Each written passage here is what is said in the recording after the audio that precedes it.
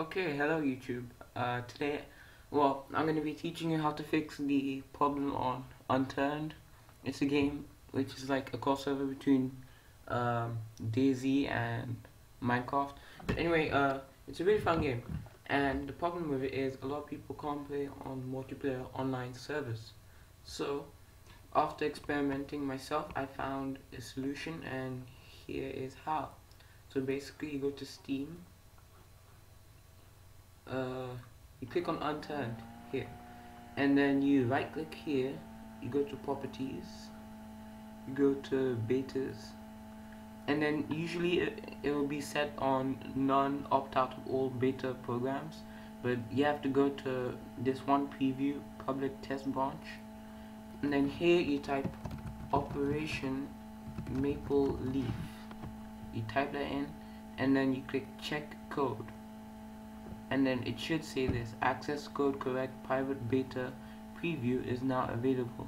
And what it will do is it will update to the latest version. Now remember what I did before was I typed in operation maple leaf but I forgot to put this into preview to preview which is why it didn't work for me.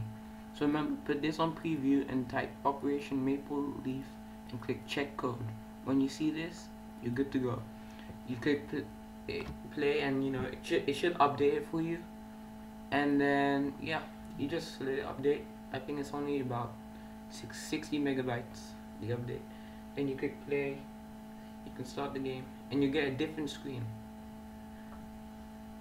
And you don't have to do any port forwarding or you don't have to use Hamachi or Tungle or Evolve any of that.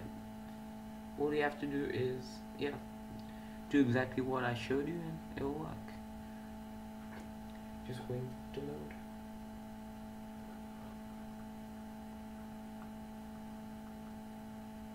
And you notice that the screen is different in this version. This is the latest version.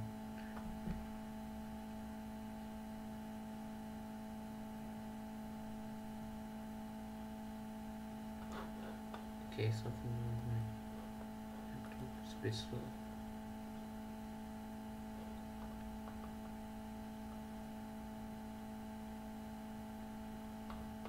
sorry for the delay. Okay.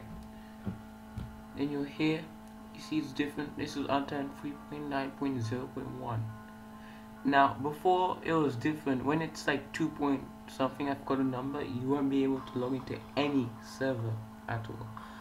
But once you're here you click play here servers.